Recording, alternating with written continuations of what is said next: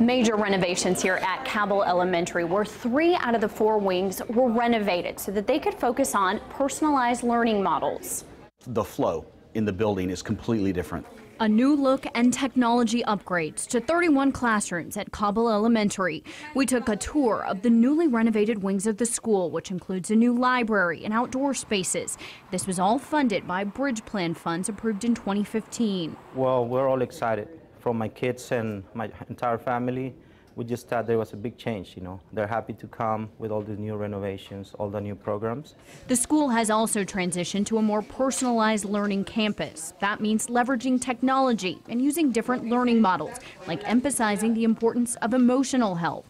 I found out students are now taking regular Energizer mind breaks, like this. One, two, three, switch. Parents like John Tarleton say he's already seen a difference in how his fourth grader is responding. It's been fun to watch his grades change too. Um, he had some difficulties with uh, some reading and some things like that. And then through all of this, there was this, this spur on that came in out in him. And I think it was through the personalized learning. One of the fun new options is allowing students the options to choose where they want to study, whether it's those bikes, pillows you see here, or desks. Reporting here in Dallas, I'm Brittany Jeffers, CBS 11 News.